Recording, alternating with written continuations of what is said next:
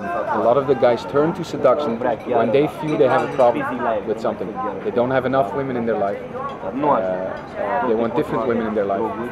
They think they have a problem with how they relate. And the way we see it is that is the Ars Amorata is, is never is not going to solve whatever problem you may think you have. It's not going to solve a problem. It's going to show a different path. It's going to show a different path, and it's going to show what's on its path, which is beauty, which is the beauty of seduction, the beauty of the feminine spirit. And it, by calling to that beauty, by calling to that, by showing that path, uh, uh, guys go from a problem-oriented, I need to solve this, into a, a what else is there kind of attitude. And that is the transformation. If there's any transformation, it's that, and we'll say this too, as long as you're committed to this path, we are there for the guys.